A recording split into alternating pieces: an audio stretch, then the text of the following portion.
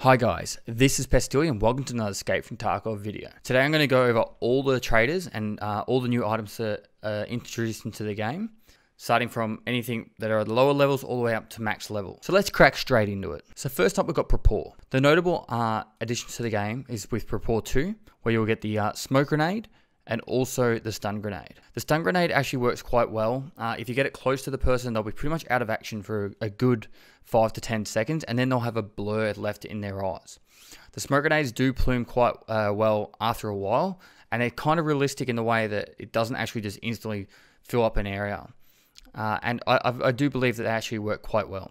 One issue I noticed with uh, the smoke grenades, however, is if you throw them into a room, the actual smoke will uh, push out through the walls. So it's not realistic in that respect because it's not confined to the room and extra pluming in the room. However, it does uh, it does really make it difficult to see within a room or a corridor. That's pretty much it for Prapor. However, I have noticed that the uh, Kedr and Klin is now purchasable at Prapor level 4, However, in previous patches, it was actually at a lower level. So moving on to the next trader. As you can see for therapists, there are no new items introduced for patch 0.9. So now moving over to Skier. With Skier, uh, the most noticeable additions are the Holosun uh, reflex light from Skier 2, as well as there's the uh, new Zenit PT1 cl Klassika stock. Moving on to Skier 3, there's the Fab Defense UAS for the AK, uh, being a new stock. However, with Skier 4, there are no real uh, new items added to the game. So next we have Peacekeeper with Peacekeeper, uh, from Peacekeeper 4, everyone's always excited about new guns, and there you have it, the SA58. I've got plenty of footage of the SA58, and, I, um, and, and I'm planning to put out some more highlight videos uh, using it. I do already have a video up of me using the SA58, but as I noticed and a lot of other people did, uh, I was getting a lot of follower alerts, and therefore it's probably not the best video to watch. It's got some good uh, highlights in it. You may just want to mute it uh, as it can get quite annoying with the uh, beep up butter bops. But in saying that, uh, it's definitely an awesome gun.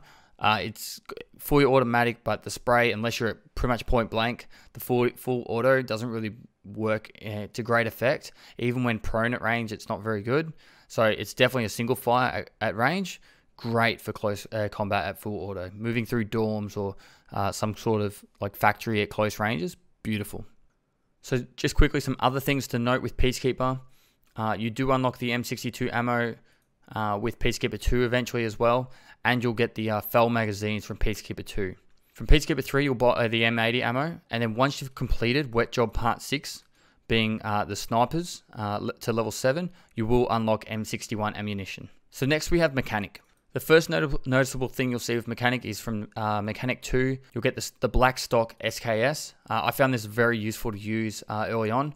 I would get this, put a Holosun sight on top of it, it's got a laser with it, uh, chuck a quick foregrip on, and it's good to go. You don't have to really put too much effort into it, and it's very effective at dropping armored people. So this was my go-to gun for using after I got to level 2 Mechanic, and I used this SKS uh, for quite a while.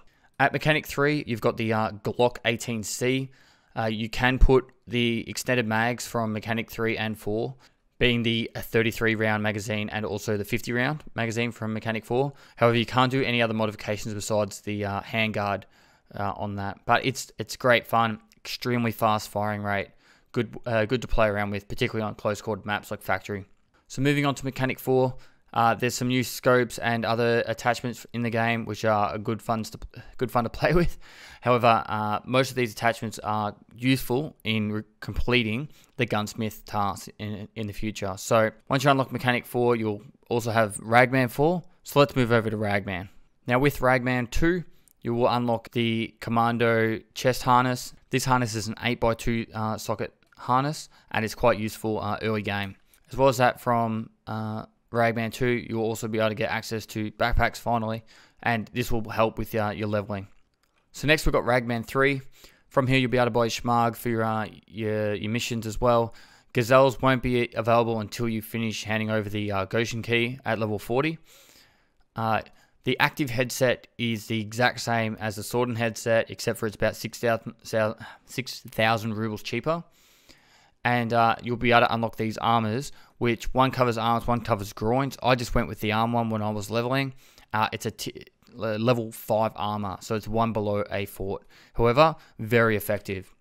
Also has 68 durability on the uh, the arm one compared to the uh, 62 from the groin. Lastly, we have Ragman 4. With Ragman 4, you will finally get to unlock the uh, Ronin ballistic helmet.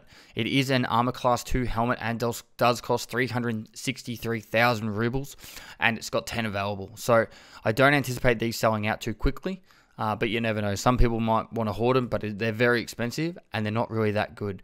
Uh, Anton did test it quickly when I gave him one, and you can shoot underneath the jaw.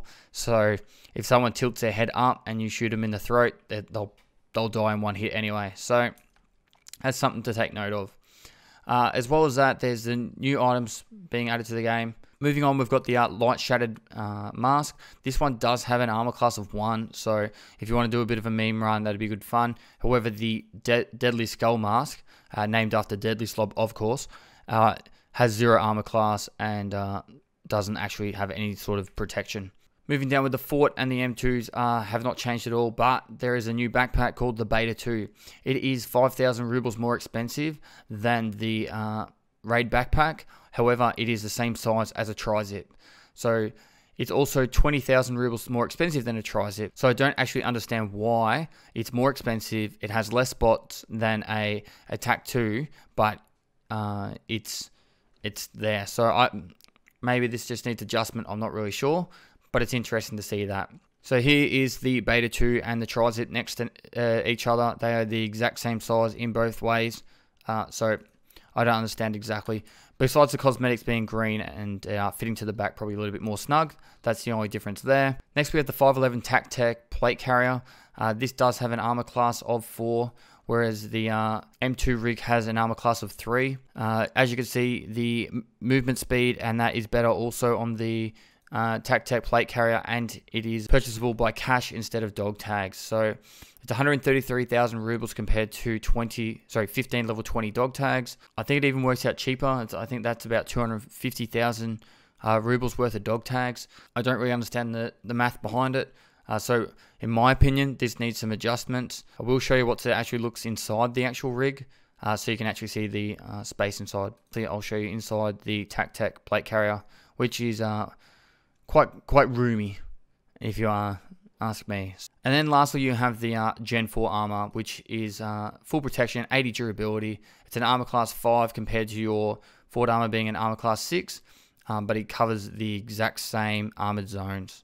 I'll probably just be uh, using the IOTV Gen 4 armor uh, until once Anton, Anton does some testing and I can find out the true stats behind uh, the way that it stops bullets, but from what I can see is up until now, most people are putting a lot of rounds into me before they can drop me if they're shooting me in the chest. I understand there's still not a lot of people carrying uh, armor penetrating bullets, but in saying that, it's probably going to be a while. So for now, this is better off in my opinion, and I don't need to farm gold chains to use it. I can just use cash. So guys, I hope you found this uh, video useful, uh, and hopefully you can get excited over some of the new items that you'll unlock as you level up.